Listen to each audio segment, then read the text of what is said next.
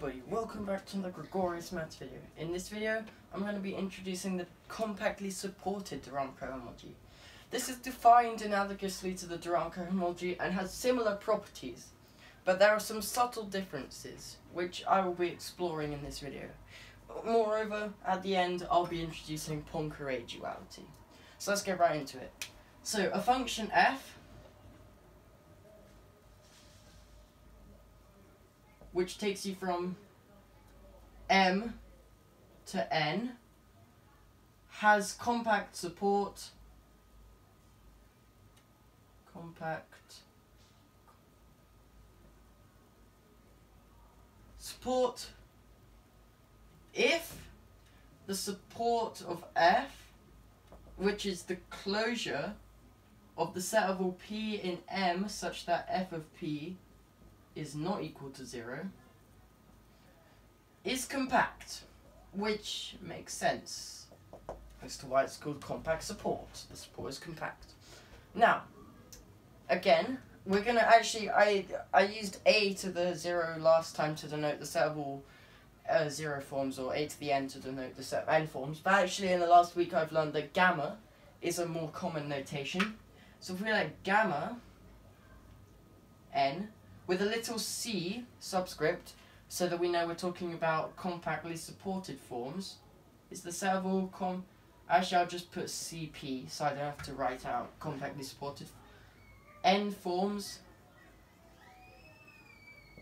Okay and then sorry this is of uh, omega in M. Okay it's applied to some m, and then z to the p, again we're going to use z to the p, with little c of m. This is the set of all CPN forms. Again, CP means compactly supported. Why am I using P? I've been using P all this time. N forms such that d omega equals 0 and b to the p sub c of M is defined analogously to last video. Set of all compactly supported N forms such that d omega equals, uh, sorry, d tau equals omega for some tau in gamma n of, uh, sorry, n minus 1 of, uh, let's just say m. Okay? Now, last, like last time, we're ready to define the de Rham cohomology, but this time with compactly supported. So, this is denoted Hn, and then it has a little c of m. This is equal to, again, defined analogously, z to the p sub c of m, so the set of all compactly supported n forms, um, such that that is holding mod and then I always get it mixed up, closed and exact, so I'm not even, um, yeah, I always get closed and exact mixed up. I think these are closed forms and these are exact. Um, but yeah, it's this quotient group here. And now we can begin to investigate this group. Alright? So, the first thing we can see is an example. So, how do we, what's an example of computing this? Well, the first compactly supported de Rham cohomology group of R is isomorphic to to R itself. Now, why proof? Okay, well, we we want to construct an isomorphism between the two. Now, if we have an integration map, that's clearly going to be surjective. So if we have the integration map, sorry, not over M, over R, which takes you from the first Rham cohomology group of R with compact supports to R, such that it takes uh, omega to the integral over R of omega, and this is injectivity. We need to show injectivity.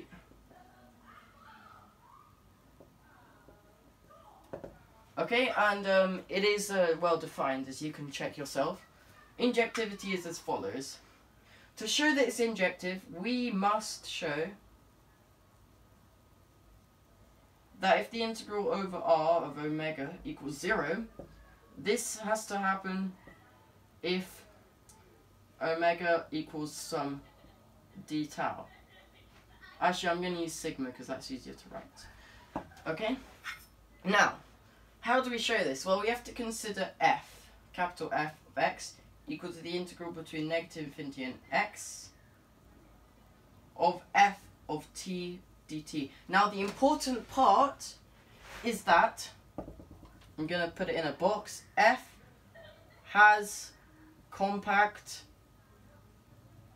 support. I mean little f. So this here. Now, we're going to use Heine-Borel, so the Heine-Borel theorem, to show that f has compact support. Now, okay, we're going to pick omega equal to f dx. First we have to show that this actually is true.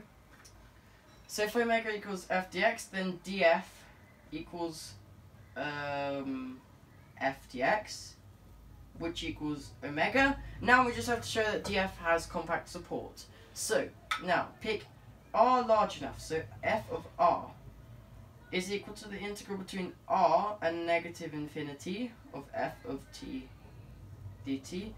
And this is 0. Why? f has compact support. Therefore, this set right here is compact, and by the Heine-Borel theorem, it must be bounded. So this means that there's a region for r big enough where this is equal to 0. Sorry. Okay, this is equal to 0. We have to use Heine-Borel to our advantage to show that there is a part outside of this set where the function is just equal to 0 the whole way. This is for r big enough. And, and I reiterate, this is because f, little f, has compact support. So th this is bounded by Heine-Borel theorem. And then, again, with the same reasoning, f of little r is equal to the integral between r and negative infinity of f of t dt. And this is 0 for r less than 0 small enough. Okay, so this is for r big enough and this is for r small enough. Because this is bounded. Okay? So the set of points such that it's this function is not equal to 0 is bounded. Therefore, when we pick r big and small enough, we have areas where the function is just equal to 0. Alright, nice. Now, what else can we do? Well, um, we can have Mayer-Vietoris for this compactly supported de Rham cohomology. But um, first we're going to have to show what this induced map will look like. So, first consider I, which takes you from U, and it's actually an inclusion mapping, so it takes from U to V. It's an inclusion mapping. Sorry, it takes yeah, it takes you from U to V, inclusion. And um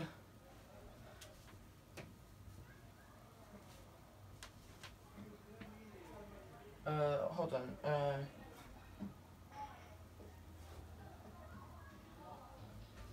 yeah, yeah, okay, okay. And then okay, so if you have I hashtag which takes you from gamma n so Again, remember the set of all compactly supported n forms in M. And it will take you uh, from there, sorry, of U, to that of M, such that it sends the compactly supported differential in U to the same differential outside of U. Um, so zero basically. To the same differential outside U. Now, what this what's nice about this is that it commutes with the differential, which you might expect. Okay? And what's the proof? Lemma I hashtag, I'm not using star yet, I hashtag, which takes you from, actually, we'll just say I hashtag commutes with the differential. That's not an exclamation mark, that's a thing. Alright, now? Well, okay, so if we have, so let's say I star is applied to the differential. This is going to be by definition 0 for the differential in m, removing u, and it's going to be the differential for the form in u. Now, what if we swap the order? So if we have the differential applied to i hashtag, this is going to be, well, this is going to be um, 0. Again, by definition, it's going to be 0 for omega in m removing u. Or it's going to be omega for omega in u. And then we apply the differential, so this is going to be d0 or d omega. And then d0 is just 0, so we're getting this. And there you go. Now, as you might expect as well, we have Mayer-Vietoris. Okay? Now, um, yeah, so.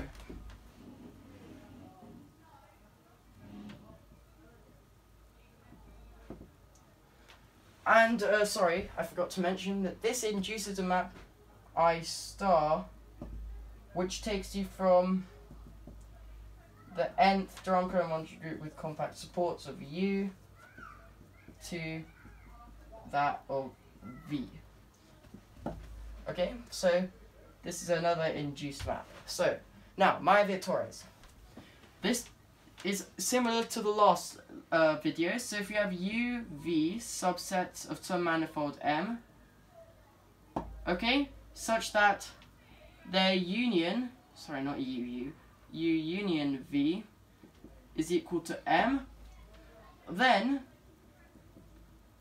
there exists a delta star which takes you from, and this is where it gets a bit different, it actually takes you from the manifold to the nth de Rham cohomology group, blah blah blah, of the manifold to the intersection.